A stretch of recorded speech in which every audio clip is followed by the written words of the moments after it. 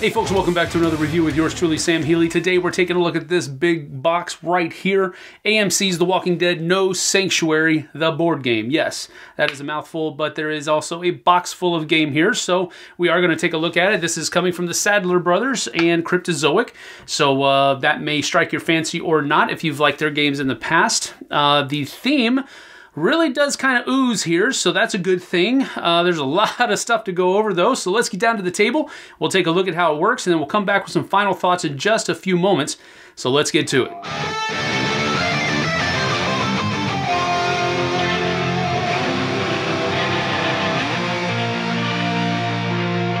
Each player is going to take their deck of survivor cards and shuffle them and then draw three cards to start the game with. They're also going to take one trust token uh, to begin the game with, and then one person is going to be uh, considered the leader, and so we're going to have Glenn be the leader uh, to start off the game. Now, uh, every person does have a survivor ability as well. Uh, this one says for Glenn, once during his or her activation, a survivor may discard one of your survivor tokens to move one space. And that leads me to the survivor tokens. Everybody has their own stack of survivor tokens. Uh, you take all of them and put one of them over here on the group page because you're going to be trying to accomplish some of these events.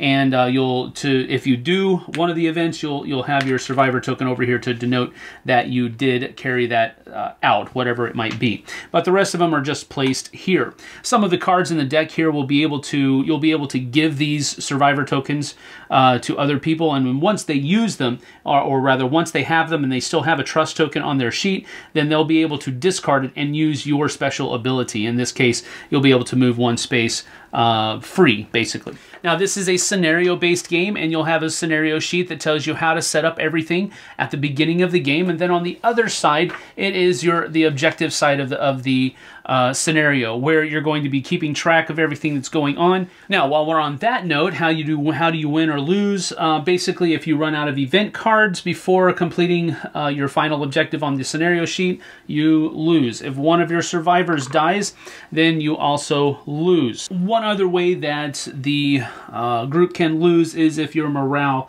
gets all the way down to zero, which isn't uh, a difficult thing to accomplish, actually. It's pretty easy uh, to lose morale in this game, so you do need to keep an eye on that. Um, and if you accomplish the fourth objective before any of one of those things happens, then you've won. Now the game is played in a number of rounds and in each round there are five phases. In the planning phase is where uh, one, everybody's going to be drawing one card from their deck and adding it to their hand. Of course they start with three, so at the beginning of the first turn you'll have four cards that you can play out of your hand. Then the leader is going to take two event cards from the top of the deck and look at them secretly. Now, these are events that are going to happen. He can choose to neglect one of these, and the other one becomes the active event. If he chooses to neglect this, uh, for example, if he chooses to neglect taking inventory, each survivor suffers one stress for each resource pool with no resources. So that would be pretty bad because that means everybody would suffer two stress.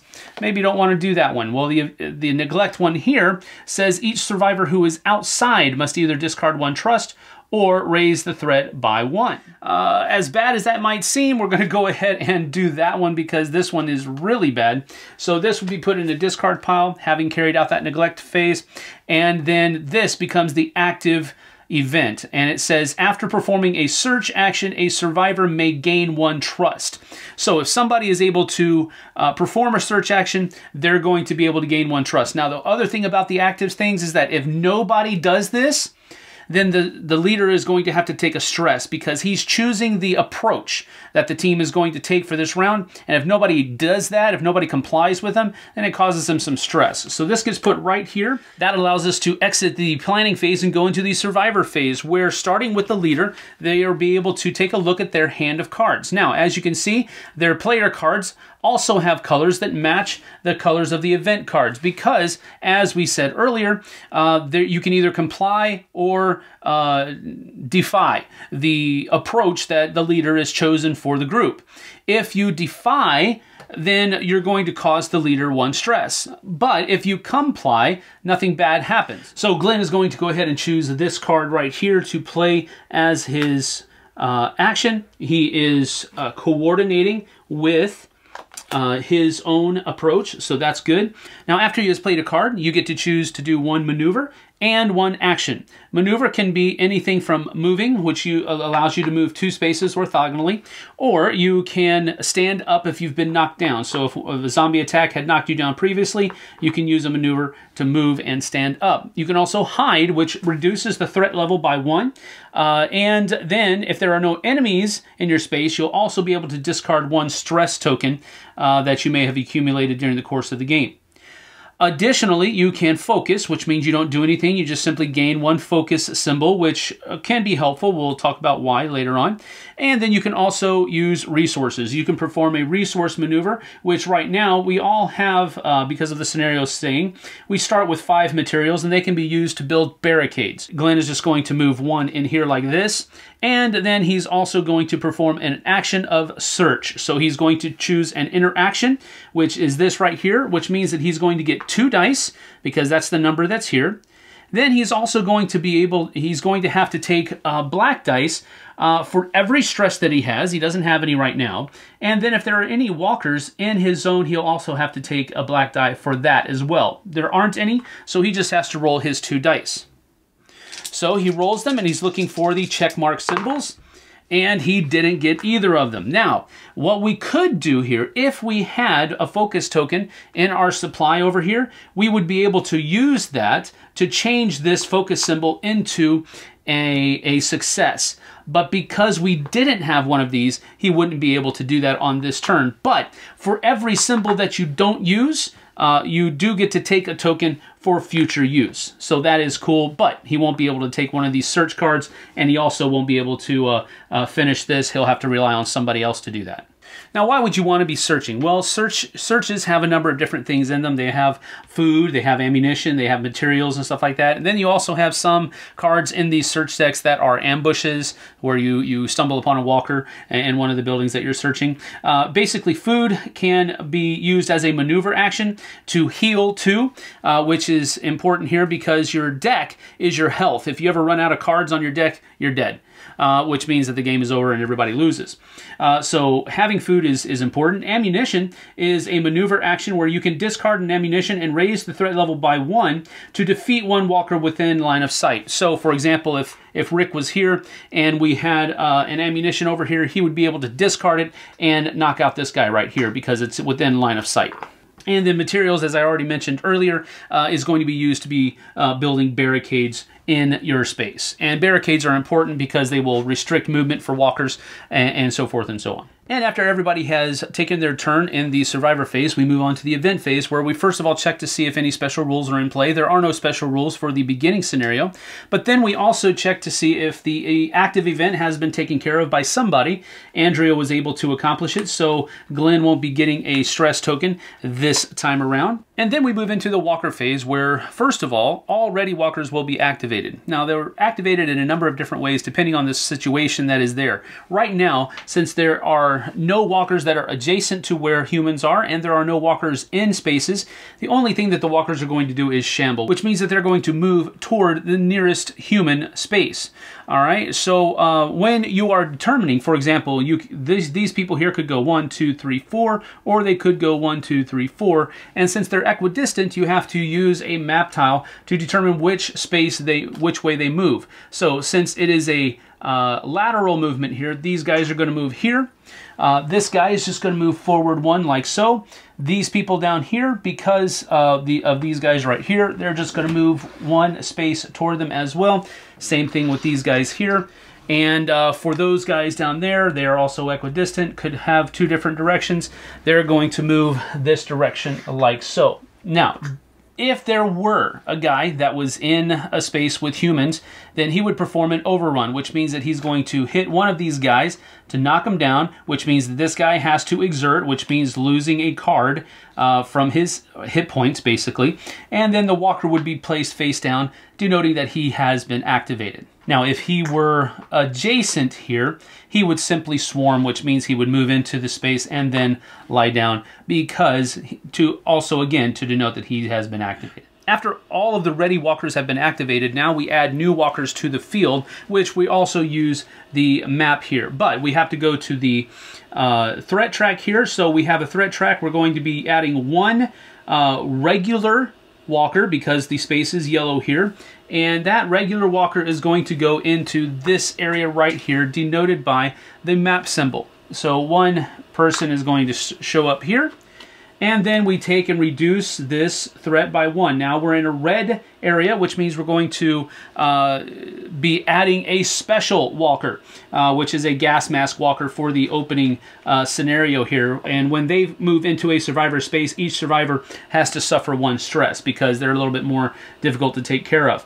So that uh, special walker is going to go uh, up here, like so and then we move the threat down again. Another regular walker is going to be added, uh, let's see, right here.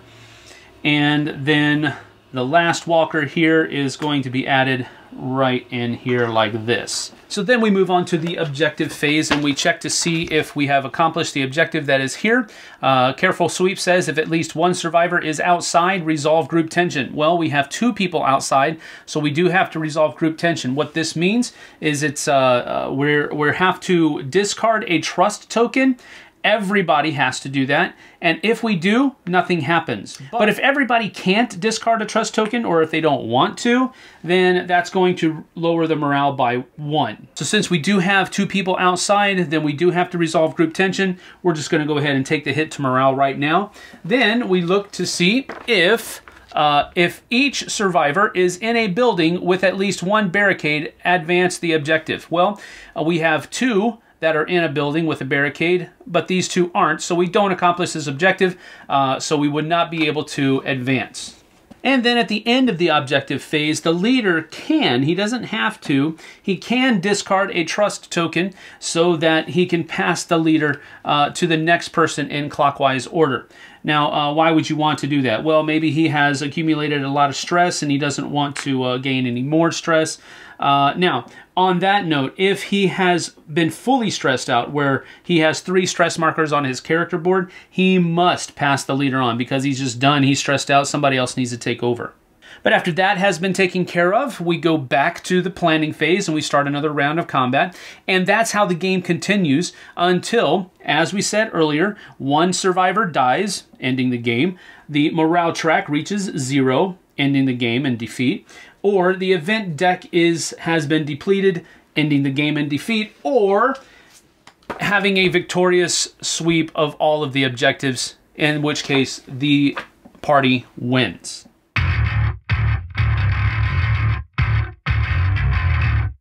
So as you saw in the uh, playthrough part of it, this has a very large footprint. Uh, it takes up pretty much most of the table. Uh, we've got a you know pretty big Rathskeller's table here, and it takes up the at least half of the playing surface. So there is that, something you need to contend with. This may or may not fit on your kitchen table. You might have to find something a little bit bigger uh, to play this game on, but there is a lot of stuff in this box. Now, the first pro of the game is I think that they've captured all of the characters that are in this uh, pretty well as far as their character abilities and the decks that they have and the different kinds of things that you can do with those cards uh, with the uh, survivor decks. I like that a lot. I like the fact that they have uh, captured the character's essence uh, from the TV show. Now, that's one thing I guess I need to mention as well. This is based on the TV show, not the comic books. And of course, you probably saw that uh, because of all of the artwork and everything that's in the game already. So I think that they've done very well at incorporating the feel of the characters into the game. And then on top of that, I think the uh, psychological drama that the TV show is really known for is represented well with the different stress tokens and the focus tokens and, and all that kind of stuff and how they interact uh, in the game. So I think they've they've put together a very thematic experience here, which is good. If you like the TV show, I think that you're really going to enjoy this game. Another pro about the game is that they chose not to use screenshots, and I think that's very pivotal here because it would have been very simple for them to do it. There is a plethora of, of pictures and uh, clips out there that they could have easily used, but they chose to go with photorealistic artwork, which is pretty cool in my opinion. I like the fact that you can tell exactly who these characters are. The artwork is done very well. Uh, but it's not a screen cap or it's not um, a, a still photo, you know, that uh, they've used from the TV show. It's all artwork, and I really do enjoy that. Another pro of the game is that it is rather simple to play. This is not a uh, over convoluted game. There isn't a whole lot going on and it's very structured uh, because you do this and then you do that and then you do this and, and it just kind of clips along after a while. But uh, that will also lead me into my first con of the game and the first con of the game is uh, the rule book. I just didn't like how the rule book was laid out. It's not necessarily that it is a bad rule book all of the information is there. I just didn't like how it was grouped together. Uh, because you would have uh, rules talking about doing this and doing this and this, and it would say, and if this happens, you do this. But the rule for that is later on, so you'd have to flip over and, and find and read that, and then you could flip back. Uh, so that was a bother for me. Uh, I don't think that uh, it's going to be a huge problem for everybody. It's not a horrible rule book. I just didn't like how it was laid out and how it was put together. It just didn't flow very well for me. A second con for the game is that setup is a bear. Uh, it, it just takes a long time. We're talking probably 15 maybe 20 minutes to set up the game, uh, especially if it's your first few times. Maybe it'll it'll uh, scale down after you've played a few games, and and it'll it'll be a little bit more intuitive at that point. But boy, it, it there is a and, and, the reason it takes so long is because there's so much in the game that you have to account for. So I really say this that uh, setup is a bear because there's so much in the box, which isn't really a bad thing as far as you getting your money's worth. Uh, but it is kind of a bad thing because it does take a good chunk of time to set the game up. And really, that's about it as far as cons are concerned. I, I, I didn't hate the game. I didn't really even dislike the game. I just thought that there was a little uh, it was just a pretty difficult to slog through the rule book for the first couple of times, and, and that always puts the game off a little bit for me. Uh, at first, I was having difficulty with how much stress everybody was going, and then I, I, realized that I had missed a rule about how you can actually hide, and uh, that will lower the threat, and I just missed this part of it also get rid of a stress because you're hiding. Uh, so uh, there's little mistakes that I made throughout the course of the game that, that really kind of soured it, and I wish I hadn't uh, made those mistakes. I just thought it would, would be better if it was a little bit more intuitive as far as the rulebook is concerned, and it just wasn't for me. Maybe other people are not having that problem. So all in all, I think I'm going to give this a 7 out of 10. Now, and 7 out of 10 seems high, but it's very, very close to being like a 6.5 or, or even just a 6. It really depends upon the group that I'm playing with, but the reason I'm giving it a 7 out of 10 is because out of all the Walking Dead games that I've played, and I've played a few of them, they were pretty much just variations about on other games, and some of them were just not good games at all. Uh, this is the best Walking Dead game that I've played thus far. Now, I haven't played all of them, I think, so take that for what it's worth, but uh, this is a, a fun game to play that captures the theme and uh, psychological drama that the TV show has in it very well. So if you like the show, as I said before, you're probably going to enjoy this game. Uh, just be aware that you might have to read the rulebook a few times to get everything grokked and uh, together in your mind before you before you uh, step out on your first adventure there. So that's it for me. Seven out of ten. I do enjoy the game. I think it's uh, one of the best Walking Dead games that's out there. Uh, but again, has some of its quirks and uh, difficulties as well. so that's it from me. See you guys and gals on the flip side. Take care.